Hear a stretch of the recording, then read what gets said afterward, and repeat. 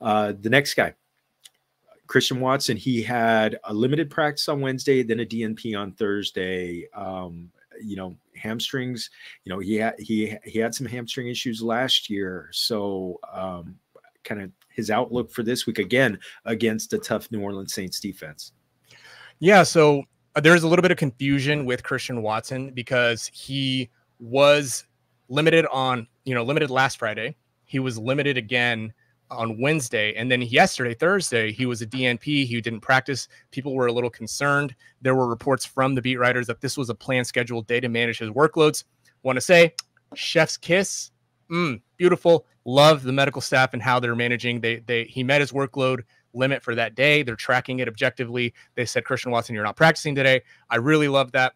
Uh, so you know they're doing it. I think the the Packers are doing a good job. He didn't go last week. I think he can go this week. He returned to practice today. Still limited. He did have this issue last year. Understand that for receivers, we talked about running backs before, but for receivers, the weekly recurrence rate on these hamstring strains is is much higher. You actually see a weekly recurrence rate in wide receivers for hamstrings sitting at right around 30% uh, a weekly recurrence rate. So that's pretty high. Here's what I said about re injury rates in the season long playbook available in the Patreon.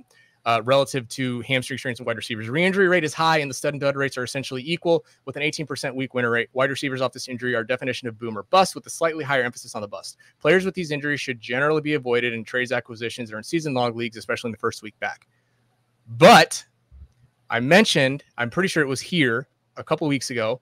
I need to give him a chance, right? I drafted Christian Watson. I want to give him a chance. I want to see if he can overcome that. I'm going a little bit by feel. Not everything's data. I told myself I'd be a little bit better about going by feel. Given the way that I know that the Packers have managed his current hamstring strain, uh, despite that New Orleans defense, I really want to give uh, Christian Watson a chance because, man, even if he does, well, I don't know, let's say worst case scenario, he gets ruled out again in the second quarter, but he caught a 40 yard bomb he made up the value. There he is. A guy like Christian Watson, you have him in your lineup for upside. Uh, and quite frankly, I'm not going to tell you to sit him. Just understand that he's a hold, right? I wouldn't necessarily actively want to go out and draft Christian Watson or trade for Christian Watson. But since I drafted him in a handful of places, I want to see how that goes. I want to play that out and I want to I, I want to see what he can do. Yeah, unless you unless you were able to hit the waiver wire with somebody, I mean, it's it's hard to replace kind of like what you said, the boomer bust. Maybe he won't have the the all, all of all of the routes run, but heck, we saw with the Denver Broncos last week. You know, Marvin Mims ran 12 routes. He caught two balls for 113 yards. So Christian Watson has that game breaking ability. So I think he he's someone that can actually, uh, yeah, like you said, only run maybe run half the routes of Romeo Doubs and uh, Jayden Reed, and then but still be explosive, and because he is explosive, and we've seen that before. So uh, over to Seattle, uh, DK Metcalf, he had that rib injury that that you know that we saw kind of you know that they did in replays a little bit. He was a DNP most recently. A level of concern with him miss, possibly missing the game. Yeah, so looking at the data for wide receivers with shoulder, ribs, and chest injuries, you see that 66% of the time since 2018, wide receivers miss no time at all. 18% of the time, they miss one game. So there is about a t- roughly right if we're gonna if we're gonna approximate it, there's about a 20% chance that Metcalf doesn't go. He I haven't seen any updates since they are over on the West Coast or in your time zone. I haven't seen any updates specifically on his practice report. So he last I knew he didn't practice. That is something to consider, right? It's not it's not nothing. But when it comes to if he's active, should you start him? I I do sit in the camp that if he's active, you should start him. These injuries are not necessarily easy to deal with. They're they're kind of a pain tolerance issue.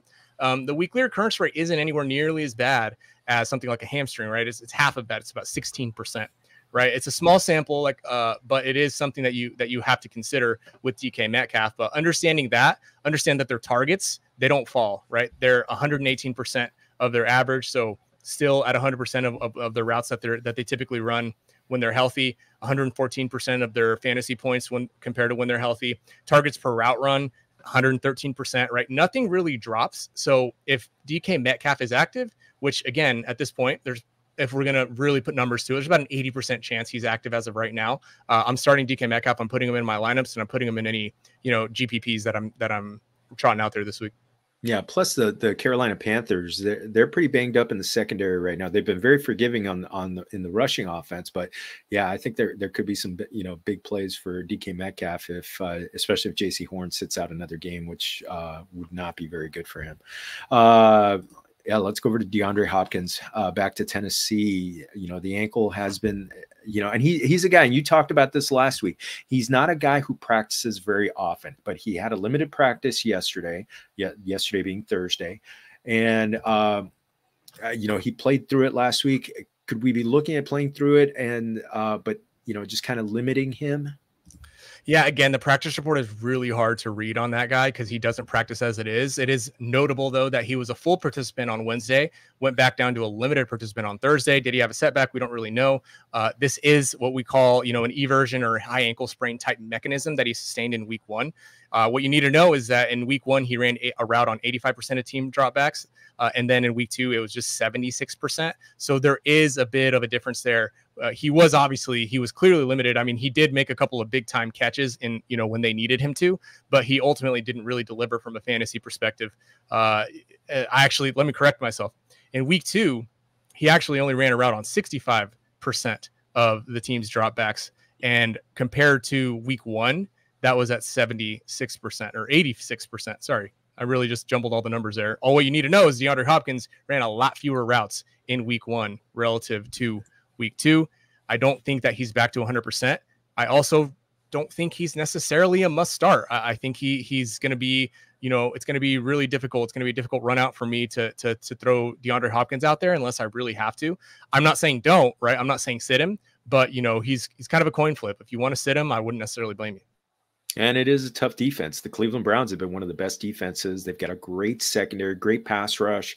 So that one, you know, going up against them, that's uh yeah, I, I agree with you that if you can sit him, uh I mean, if you have like a Michael Thomas or something like that, that's definitely someone to consider to play instead of uh in, instead of um DeAndre Hopkins. Uh yeah, don't don't go like grabbing you know someone off the waiver wire to get you know uh, I don't know if I'm playing Josh Reynolds instead of him, so that that that's a little too local for me. Um, well, somebody who's gone local, Puka. Yeah, I mean he's gone local the first two weeks, but um, again, you know, coming up with an oblique, he got he had a DNP. Uh, he played through it, had a phenomenal game against the 49ers last week. Now he's got the Bengals on Monday Night Football where he's got an extra day. So could could we be looking more encourage more encouraging for for him to have another uh you know be back on the field? Yeah so this is a situation where we really want to monitor his practice status and we have again have not seen what's going on uh, in la quite yet. He didn't practice yesterday like you mentioned. But this wasn't an issue uh, it wasn't an issue earlier you know in week two and so i don't necessarily anticipate it being an issue uh, again in week three. It's just something that they're probably just trying to manage because, I mean, let's be honest, like the Rams are banged up right now. Obviously, they just got rid of Cam Akers.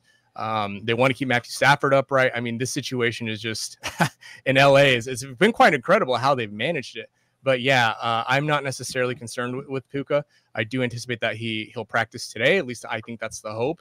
Uh, check the Patreon as the weekend goes on. They're they're obviously it's going to be uh, something to monitor throughout the week for them.